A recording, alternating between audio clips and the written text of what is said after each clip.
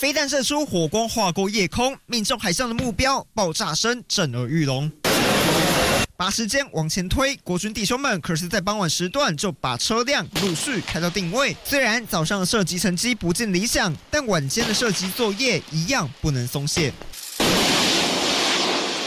二十六号晚间，陆军八军团在屏东方山进行夜间实弹射击，而这次最大的亮点就是陆军首次使用新采购的一百套托二 B 飞弹发射器，而且首次亮相就实施夜间射击。